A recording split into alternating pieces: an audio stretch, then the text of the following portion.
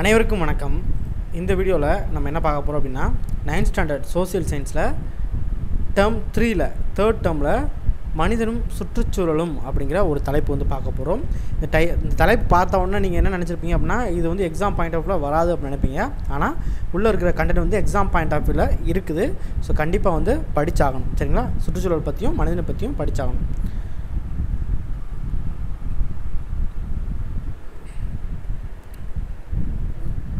First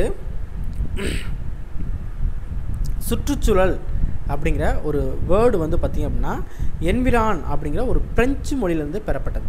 சுற்றுச்சூழல் அப்படிங்கிறது environment இந்த என்விரான்மெண்ட் அப்படிங்கிற ஒரு வேர்டு என்விரான் அப்படின்னு சொல்லக்கூடிய ஒரு பிரெஞ்சு மொழியிலேருந்து பெறப்பட்டது. இந்த என்விரான் அப்படிங்கிற ஒரு பொருள் என்ன அப்படின்னா சுற்றுப்புறம் அப்படின்னு சொல்லி சொல்லலாம். சரிங்களா? அடுத்ததாக நான் வந்து எக்ஸாம் பாயிண்ட் ஆஃப் வியூவில் எல்லாமே ஹைலைட் பண்ணி வச்சுருக்கேன். ஸோ அதை மட்டும் நான் வந்து சொல்கிறேன் போதுமானது. உங்களுக்கு தெரியுமா இருக்குது? கிபி ஆயிரத்தி தொள்ளாயிரத்தி எழுபத்தி ரெண்டில் ஸ்டாக்ஹோம் மாநாட்டில் மனிதன் சுற்றுச்சூழலை உருவாக்கி வடிவமைக்கிறான் அப்படின்னு சொல்லிட்டு அறிவிக்கப்பட்டது. எங்கே? கிபி ஆயிரத்தி தொள்ளாயிரத்தி எழுபத்தி ரெண்டில் ஸ்டாக்ஹோம் மாநாட்டில் சரிங்களா? ரியோடி ஜெனிரோ நகரில் ஆயிரத்தி தொள்ளாயிரத்தி தொண்ணூற்றி ரெண்டில் நடைபெற்ற ஒரு புவி உச்சி மாநாடு ஐக்கிய நாடுகளோட சுற்றுச்சூழல் மற்றும் வளர்ச்சி மாநாடு அப்படின்னு சொல்லிட்டு அழைக்கப்பட்டிருக்குது சரிங்களா? அப்போ ஐக்கிய நாடுகளோட சுற்றுச்சூழல் மற்றும் வளர்ச்சி மாநாடுன்னு சொல்லிட்டு எது அழைக்கப்படுது அப்படின்னா ரியோடி ஜெனிரோவில் ஆயிரத்தி தொள்ளாயிரத்தி தொண்ணூற்றி ரெண்டில் நடைபெற்ற ஒரு புவி உச்சி மாநாடு. யுஎன்சிஇடி அப்படிங்கிறது United Nations conference on environmentation and development இது வந்து பார்த்துக்கோங்க. சரிங்களா? அடுத்து சுற்றுச்சூழலோட வகைப்பாடுகள். என்னென்ன அப்படின்னா இயற்கை சுற்றுச்சூழல் மனித சுற்றுச்சூழல் மனிதனால் உருவாக்கப்பட்ட சுற்றுச்சூழல். இயற்கை சுற்றுச்சூழல் அப்படிங்கிறது இயற்கையாக இருக்கிறது. மனித சுற்றுச்சூழலுங்க மனிதனோட வீடு மனிதனோட பிளேஸ் அது எல்லாமே. மனிதனால் உருவாக்கப்பட்ட சுற்றுச்சூழல் அப்படிங்கிறது பார்க் இந்த மாதிரி இருக்கிறது எல்லாமே மனிதனால் உருவாக்கப்பட்ட சுற்றுச்சூழல். இதைத்தான் வந்து இந்த பெரிய பேராகிராஃபில் வந்து கொடுத்துருப்பாங்க. ஸோ நம்ம இதெல்லாம் பார்க்கணுன்னு அவசியமே கிடையாது. சரிங்களா? அடுத்து மக்கள் தொகை. முக்கியமான ஒன்று இந்த பாடத்தை வந்து கொடுத்ததுக்கு என்ன காரணம் அப்படின்னா இந்த மக்கள் தொகை தான். மக்கள் தொகையை பற்றி கொடுத்துருப்பாங்க. ஸோ நம்ம வந்து கண்டிப்பாக வந்து இதை வந்து பார்த்தே ஆகணும். மக்கள் தொகை அப்படிங்கிற ஒரு வேர்டு பாப்புலஸ் அப்படிங்கிற ஒரு வேர்டு வந்து லத்தீன் மொழியிலேருந்து பெறப்பட்டது. சரிங்களா? பாப்புலஸ் அப்படின்னா மக்கள் அப்படின்னு சொல்லி பொருள். சரிங்களா? அடுத்து மக்கள் தொகையில் அதாவது டெமோக்ரஃபி அப்படின்னா என்னன்னு கொடுத்துருக்காங்க. பழங்காலத்தில் கிரேக்க மொழியில் டெமோஸ் அப்படின்னா மக்கள் அப்படின்னு சொல்லிட்டோம் கிராஃபிஸ் அப்படின்னா கணக்கிடுதல் அப்படின்னு சொல்லிட்டும் பொருள். அதனால தான் மக்கள் தொகையை கணக்கிடுதல் அப்படின்னு சொல்கிறாங்க டெமோக்ராஃபி மக்கள் தொகையியல் அப்படின்னு சொல்கிறாங்க மக்கள் தொகையியல் என்பது புள்ளியியல் முறையில் மக்கள் தொகையை கணக்கிடுவது அப்படின்னு சொல்லி சொல்லியிருக்காங்க ஃபஸ்ட்டு பாப்புலேஷன் க்ரோத் அதாவது மக்கள் தொகை வளர்ச்சி. மக்கள் தொகை வளர்ச்சி அப்படின்னா என்ன அப்படின்னா ஒரு குறிப்பிட்ட காலத்தில் ஒரு குறிப்பிட்ட இடத்துல வாழ்கிற மக்களோட எண்ணிக்கை வந்து அதிகரிக்கிறது தான் மக்கள் தொகை வளர்ச்சி அப்படின்னு சொல்லி சொல்கிறது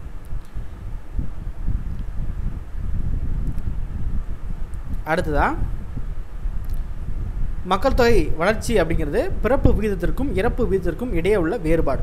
மக்கள் தொகை வளர்ச்சி அப்படிங்கிறது பிறப்பு விகிதத்திற்கும் இறப்பு விகிதத்திற்கும் இடையே உள்ள வேறுபாடு. சரிங்களா? ஸோ மக்கள் தொகை வளர்ச்சி எதனால் குறையுது அப்படின்னா பஞ்சம் நிலச்சரிவு புவி அதிர்ச்சி ஆழிப்பேரலை இந்த மாதிரி இயற்கை சீற்றங்கள் அடுத்து மனிதனால் ஏற்படுற அழிவுகள் போர் அப்படின்னு சொல்லலாம். இதனால் மக்கள் தொகை வளர்ச்சி வந்து குறையுது.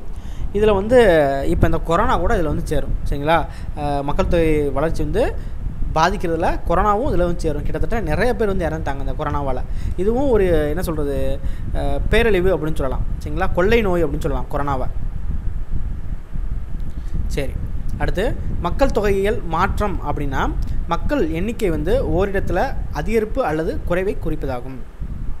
மக்கள் தொகை மாற்றம் அப்படிங்கிறது என்ன? மக்கள் மக்களோட எண்ணிக்கை வந்து ஒரு இடத்துல அதிகரிப்பு அல்லது குறைவதை குறிப்பது. இது வந்து பிறப்பு இறப்பு மற்றும் மக்கள் இடைப்பெறிவு. அதனால் தீர்மானிக்கப்படுகிறது. சரிங்களா? கிபி ஆயிரத்தி அறநூற்றி ஐம்பதில் ஐநூறு மில்லியனாக இருந்த மக்கள் தொகை வந்து கிபி ஆயிரத்தி எண்ணூற்றி ஐம்பதில் கிட்டத்தட்ட இரநூறு ஆண்டுகளுக்கு அப்புறம் ஆயிரம் மில்லியனாக இரு மடங்கு வளர்ச்சி சரிங்களா? அடுத்து ரெண்டாயிரத்தி இருபத்தி அஞ்சு மற்றும் ரெண்டாயிரத்தி ஐம்பதில் எட்டு பில்லியன் மற்றும் ஒன்பது பில்லியனாக வளர்ச்சி அடையும் அப்படின்னு சொல்லிட்டு ஒரு அனுமானிக்கப்பட்டது அப்படின்னு சொல்கிறாங்க ஒரு அப்ராக்சிமேட்டில் சொல்லியிருக்காங்க. சரிங்களா? பிறப்பு மற்றும் குடியிறக்கம் காரணமாக மக்கள் தொகை அதிகரிக்கிறது. குடியிறக்கம் அப்படின்னா வெளி வெளிநாட்டிலேருந்து நம்ம நாட்டுக்கு குடியேறது. சரிங்களா? அடுத்து இறப்பு மற்றும் குடியேற்றம் காரணமாக மக்கள் தொகை குறைகிறது. குடியேற்றம் அப்படின்னா நம்ம நாட்டிலேருந்து வெளிநாட்டுக்கு போயிடுறது. அது மக்கள் தொகை வந்து பாதிக்கும் இல்லையா? அடுத்து உங்களுக்கு தெரியுமா கொடுத்துருக்காங்க. பதினான்காம் நூற்றாண்டில் ஐரோப்பாவில் பிளேக் அப்படிங்கிற ஒரு கொள்ளை நோயினால் முப்பதுலேருந்து அறுபது சதவீத மக்கள் வந்து இறந்துருக்காங்க அப்படின்னு சொல்லி கணக்கிடப்பட்டுள்ளது. எப்போ?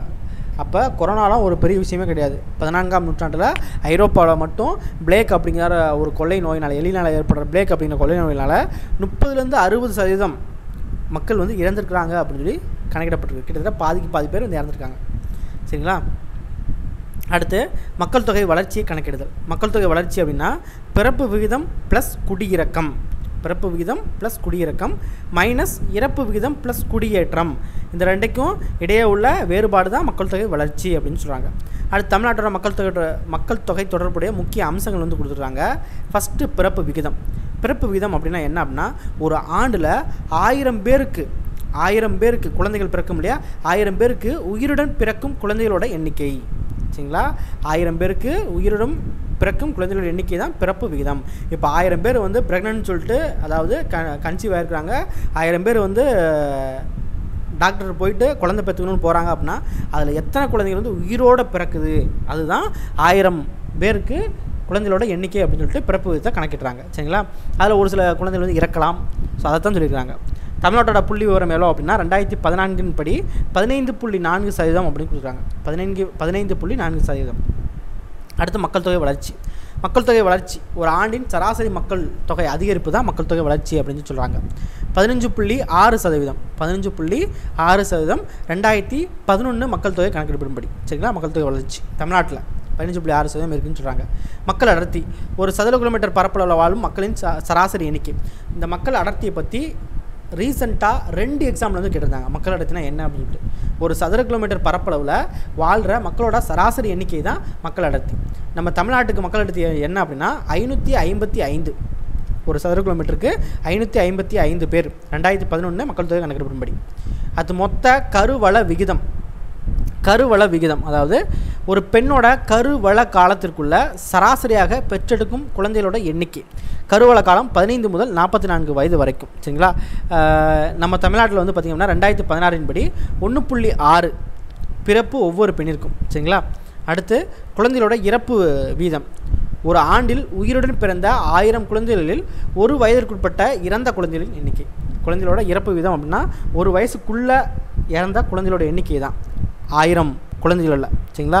நம்ம தமிழ்நாட்டை பொறுத்த வரைக்கும் ஆயிரம் பேருக்கு பதினேழு பேர் வந்து ஒரு வயசுக்குள்ளே இறக்குறாங்க அப்படின்னு சொல்கிறாங்க ரெண்டாயிரத்தி பதினாறு கணக்கெடுப்பின்படி. அடுத்து வாழ்நாள் மதிப்பீடு. ஒரு நபரோட சராசரி ஆயுட்காலம் அப்படின்னு சொல்கிறாங்க ரெண்டாயிரத்தி பத்துலேருந்து ரெண்டாயிரத்தி பதினாலு காலகட்டத்தில் ஒரு நபரோட சராசரி ஆயுட்காலம் எவ்வளோ அப்படின்னா எழுபது புள்ளி ஆறு ஆண்டுகள் அப்படின்னு சொல்லியிருக்காங்க எழுபது புள்ளி ஆறு ஆண்டுகள். அடுத்து கல்வியறிவு வீதம். மொத்த மக்கள் தொகையில் ஒரு மொழியை எளித படிக்க தெரிந்தவர்களின் எண்ணிக்கை. இதுதான் கல்வியறிவு வீதம். எண்பது புள்ளி ஜீரோ ஒன்பது சதவீதம். எண்பது புள்ளி ஜீரோ ஒன்பது சதவீதம் அப்படின்னு சொல்லலாம். ரெண்டாயிரத்தி பதினொன்று மக்கள் தொகை கணக்கெடுப்பின்படி. சரிங்களா? அடுத்து பாலின விகிதம். பாலின விகிதம் பொறுத்த வரைக்கும் ஒரு பிரதேச மக்கள் தொகையில் ஆயிரம் ஆண்களுக்கு எத்தனை பெண்கள் இருக்கிறாங்க அப்படின்னு சொல்கிறது தான் பாலின விகிதம். நம்ம தமிழகத்தை பொறுத்த வரைக்கும் ஆயிரம் ஆண்களுக்கு தொள்ளாயிரத்தி தொண்ணூத்தாறு பெண்கள் வந்து இருக்கிறதா சொல்லியிருக்காங்க. ரெண்டாயிரத்தி பதினொன்று மக்கள் தொகை கணக்கெடுப்பின்படி. சரிங்களா? அடுத்து மக்கள் தொகை கணக்கெடுப்பு அதாவது சென்சஸ் அப்படின்னு சொல்லுவாங்க. இதை வந்து நம்ம ஒவ்வொரு நாட்டில் ஒவ்வொரு மாதிரி வந்து இருக்கும். ஒவ்வொரு ஐந்து அல்லது பத்தாண்டுகளுக்கு ஒரு முறை வந்து மக்கள் தொகை கணக்கெடுப்பு வந்து ஒவ்வொரு நாட்டில் வந்து நடத்துகிறாங்க பாபிலோன். பாபிலோனில் கிமு மூவாயிரத்தி எண்ணூறில் உலகின் முக் முதல் மக்கள் தொகை கணக்கெடுப்பு நடந்திருக்குது. அப்போ உலகின் முதல் மக்கள் தொகை கணக்கெடுப்பு எங்கே நடந்துச்சு அப்படின்னா பாபிலோனில். எப்போ அப்படின்னா கிமு மூவாயிரத்தி எண்ணூறில். சரிங்களா? அடுத்து நவீன உலகில் மக்கள் தொகை கணக்கெடுப்பை முதன் முதலில் நடத்திய நாடு எது அப்படின்னு கேட்டிங்கன்னா டென்மார்க். நவீன உலகில் மக்கள் தொகை கணக்கெடுப்பை முதன் முதலில் நடத்திய நாடு டென்மார்க். சரிங்களா? அடுத்து இந்தியாவில் கிபி ஆயிரத்தி எண்ணூற்றி எழுபத்தி ரெண்டில் முதன் முதலாக மக்கள் தொகை கணக்கெடுப்பு நடத்தப்பட்டிருக்குது. அப்போ இந்தியாவில் ஃபஸ்ட் டைமாக எப்போ மக்கள் தொகை கணக்கெடுப்பு நடத்தினாங்க அப்படின்னா ஆயிரத்தி எண்ணூற்றி எழுபத்தி இரண்டில். சரிங்களா? ஃபஸ்ட் டைமாக ஆயிரத்தி எண்ணூற்றி எண்பத்தி ஒன்றில் முழுவதும் மக்கள் தொகை கணக்கெடுப்பு நடத்துகிறாங்க ஆயிரத்தி எண்ணூற்றி எண்பத்தி ஒன்றில் அதுலேருந்து தான் ஒவ்வொரு பத்து ஆண்டுகளுக்கும் ஒரு முறை வந்து மக்கள் தொகை கணக்கெடுப்பு நடத்தப்பட்டு வருகிறது. சரிங்களா?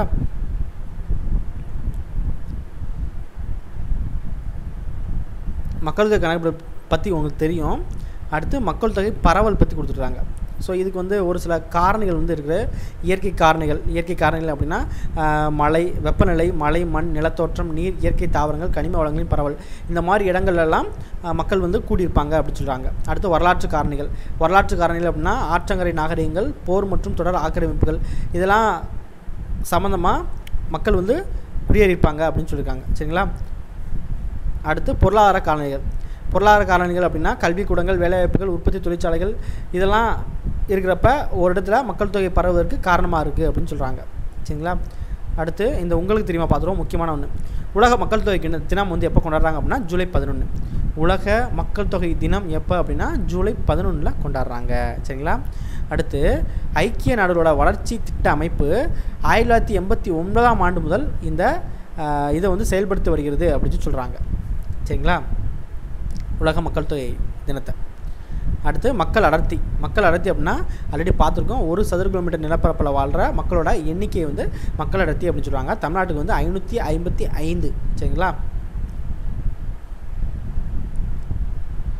இன்னொரு ஒரு ஃபார்முலாவும் கொடுத்துருக்காங்க. மக்கள் அடர்த்தி அப்படின்னா மொத்த மக்கள் தொகை பை மொத்த நிலப்பரப்பு. மொத்த மக்கள் தொகை பை மொத்த நிலப்பரப்பு. சரிங்களா? அடுத்து உலக மக்கள் அடர்த்தி வந்து மூன்று பெரும் பிரிவுகளாக வந்து பிரிக்கலாம். இது நம்மளுக்கு தேவையா அப்படின்னா தேவையில்லை பட் தெரிஞ்சுக்கோங்க. சரிங்களா? ஒன்று அதிக மக்கள் அடர்த்தி பதிகள். அதிக மக்கள் அடர்த்தி பதிகள் அப்படின்னா ஒரு கிலோமீட்டர் நிலப்பரப்பில் ஐம்பதுக்கும் மேற்பட்ட மக்கள் வாழ்வதை வந்து அது அதிக மக்கள் அடர்த்தி பகுதி அப்படின்னு சொல்கிறாங்க எக்ஸாம்பிள்லாம் பார்க்க வேண்டாம். அடுத்து மிதமான மக்கள் அடர்த்தி பகுதி என்ன அப்படின்னா ஒரு சதுர கிலோமீட்டர் ப நிலப்பரப்பில் பத்துலேருந்து ஐம்பது பேர் வசி வசிப்பதே வசிப்பதை மிதமான மக்கள் அடர்த்தி பகுதி அப்படின்னு சொல்கிறாங்க அடுத்து குறைந்த மக்கள் அடர்த்தி பகுதி. இது என்ன அப்படின்னா ஒரு சதுர கிலோமீட்டர் நிலப்பரப்பில் பத்துக்கும் குறைவான மக்கள். இது வந்து குறைந்த மக்கள் அடர்த்தி பகுதி. சரிங்களா? அடுத்து அதிக மக்கள் தொகை மற்றும் குறைந்த மக்கள் தொகை.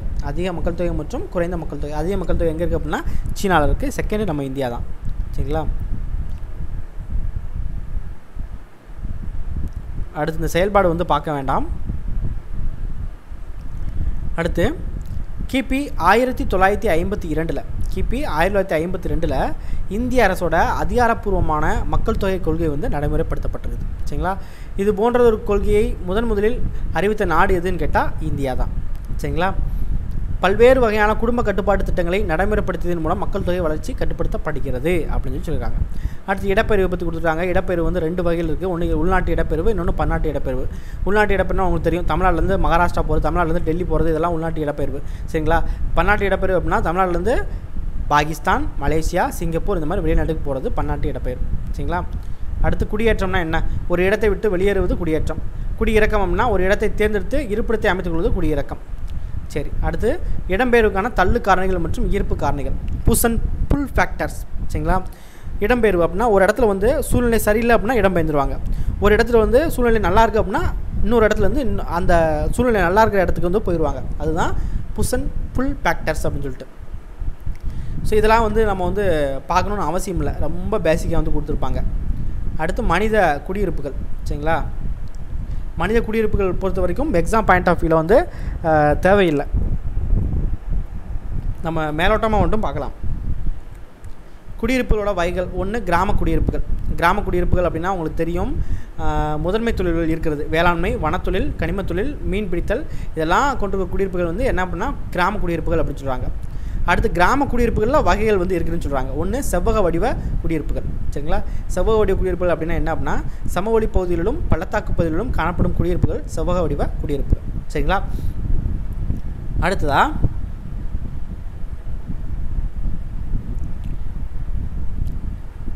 நேர்கோட்டு குடியிருப்பு. இதுக்கு வந்து நான் வந்து எக்ஸ்பிளைன் கொடுக்கணும்னு அவசியம் இல்லைன்னு நினைக்கிறேன். அடுத்து வட்ட வடிவ குடியிருப்பு அல்லது அரை வட்ட வடிவ குடியிருப்புகள். அடுத்து நட்சத்திர வடிவ குடியிருப்புகள். அடுத்து முக்கோண வடிவ குடியிருப்புகள். சரிங்களா? முக்கோண வடிவ குடியிருப்புகள் என்ன அப்படின்னா ஆறுகள் செ- ஒன்றாக சேரும் இடங்களில் காணப்படுற குடியிருப்புகள் வந்து முக்கோண வடிவ குடியிருப்புகள்.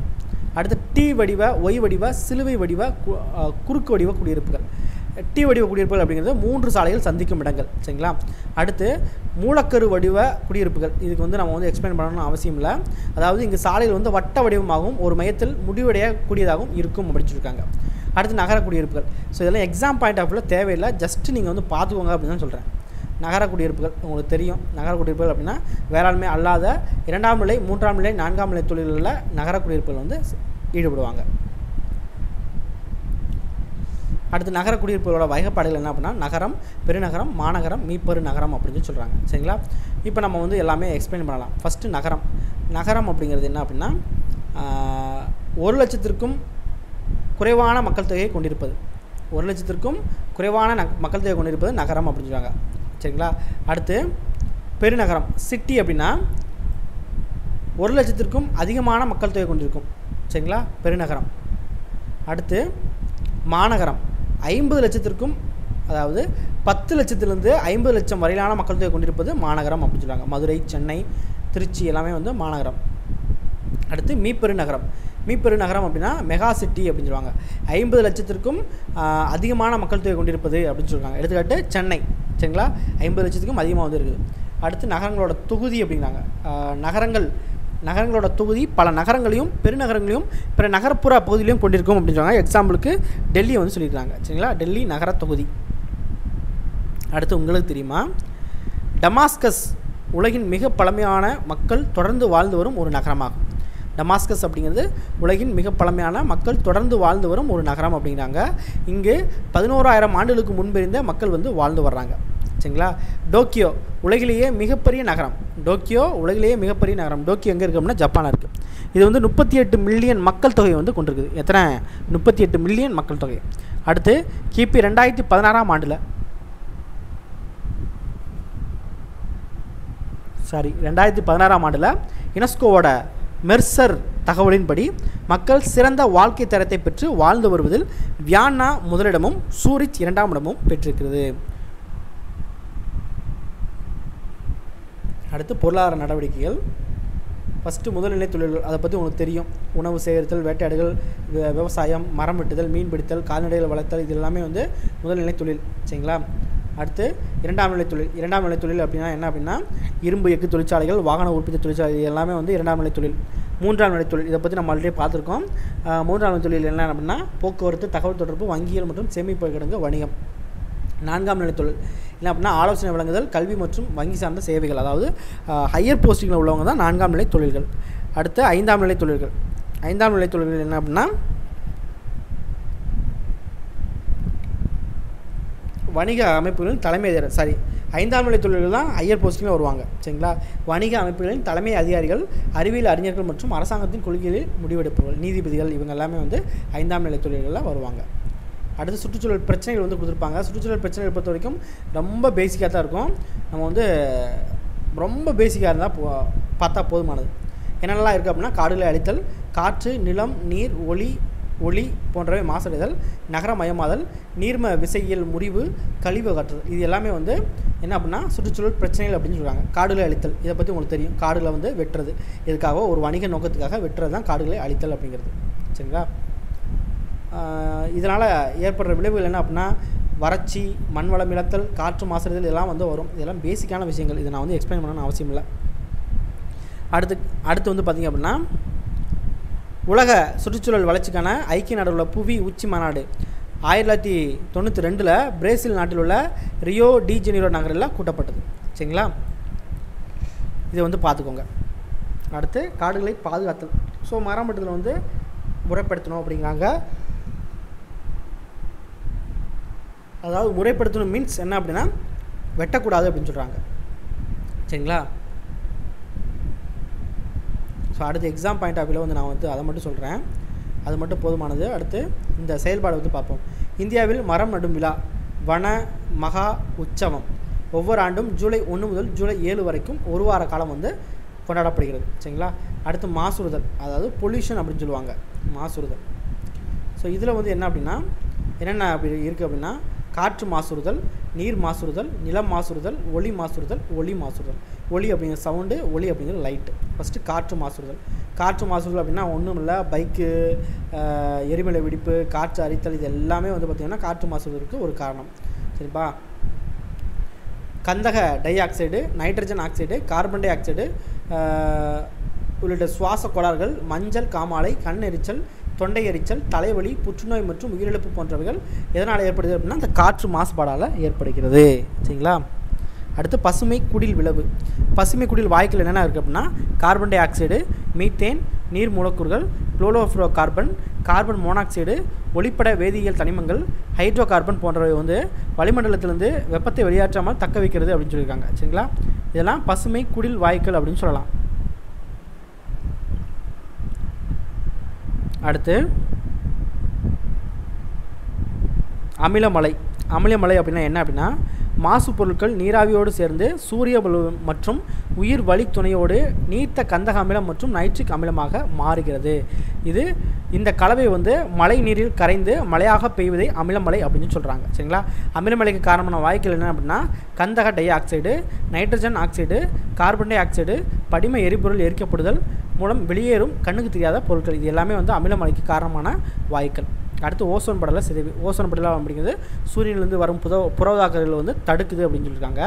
ஓசோன் படலத்தை வந்து சிதைவுரை செய்வது என்னென்ன அப்படின்னா குளோரோஃப்ளோரோ கார்பன். ஒன்று ஹைட்ரோஃப்ளோரோ கார்பன் ரெண்டு மீத்தேல் புரோமேட் மூணு. இந்த வாய்க்கள்லாம் ஓசோன் படலத்தை சிதைவடைய செய்யுது. இது எல்லாமே நம்ம பூமியிலேருந்து தான் போகுது.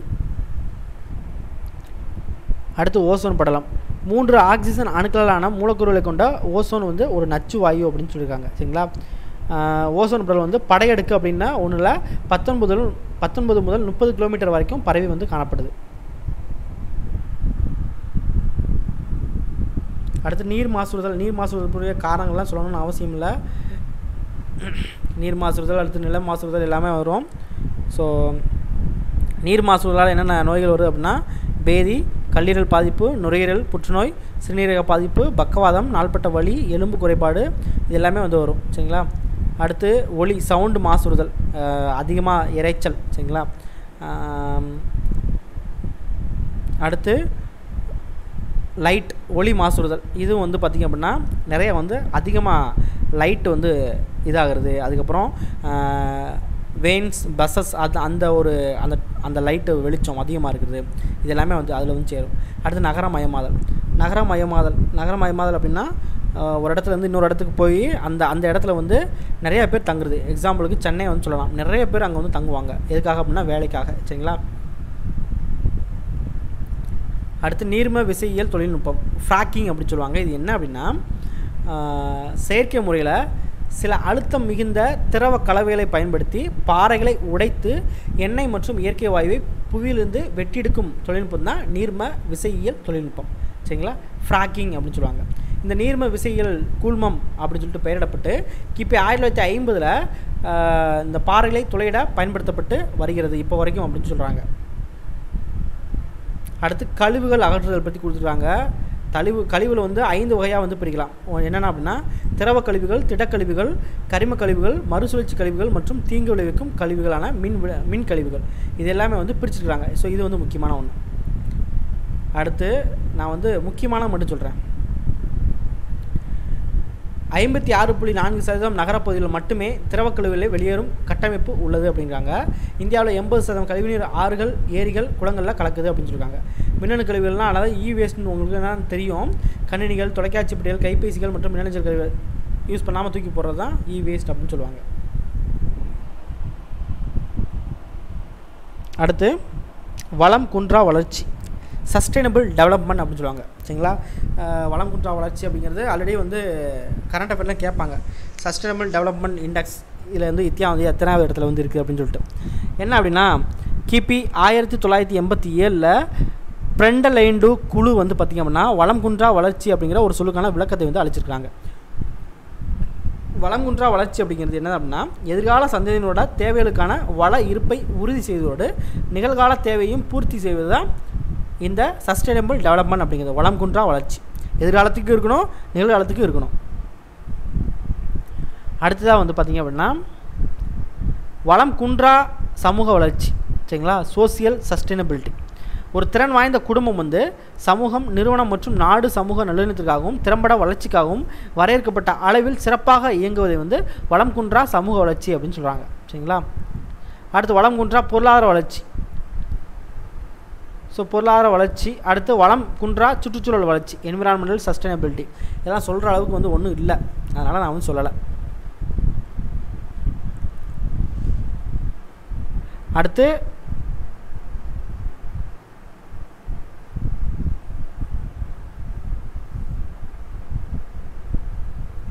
புவியை பாதுகாப்பதற்காக ஐக்கிய நாடுகள் வளர்ச்சி திட்டம் வந்து பார்த்திங்கன்னா ஒரு பதினேழு வளம் குன்றா வளர்ச்சி இலக்கையில் வந்து நிர்ணயிச்சிருக்கிறாங்க சரிங்களா?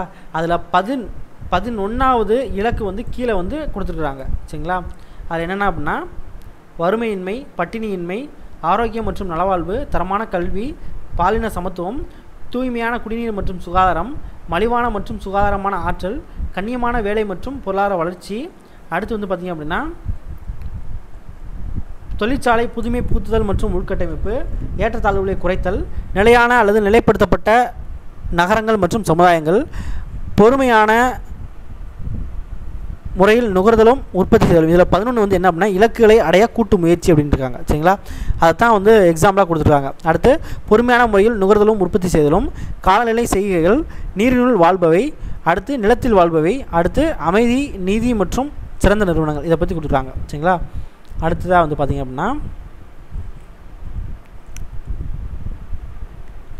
தனியால் ஆய்வு அப்படின்னு சொல்லி கேஸ் ஸ்டடி பண்ணி கொடுத்துட்றாங்க அதில் ஒரு சில இம்பார்ட்டன்ட் வந்து இருக்குது பாக் வளைகுடா. பாக் வளைகுடா அப்படிங்கிறது இந்தியாவோட தென்கிழக்கு கடற்கரை பகுதியில் தமிழ்நாட்டோட கோடியக்கரைக்கும் ராமேஸ்வர தீவுக்கும் இடையே வந்து அமைஞ்சிருக்குது ஏன்னா பாக் வளைகுடா அப்படிங்கிறது. மாங்க்ரோவ் காடுகள் அல்லது ஓத சதுப்பு நிலத்தோட இல்லமாக வந்து பாக் வளைகுடா வந்து இருக்கிறதா சொல்லியிருக்காங்க. சரிங்களா? மாங்க்ரோவ் கூட அதிகமாக இருக்குது அடுத்து கிபி ரெண்டாயிரத்தி நான்கில் ஏற்பட்ட ஆழிப்பேரலால் பாக் வளைகுடாவில் இருக்கிற மாங்க்ரோவ் காடுகள் வந்து பேரழிவை சந்திச்சிருக்காங்க. ரெண்டாயிரத்தி நாலில் சுனாமி அதுதான் சொல்லியிருக்காங்க. ஸோ அடுத்ததாக முக்கியமான ஒன்று அப்படின்னா இதில் வந்து இல்லை. ஸோ நம்ம இதோட முடிச்சுக்கலாம். நன்றி.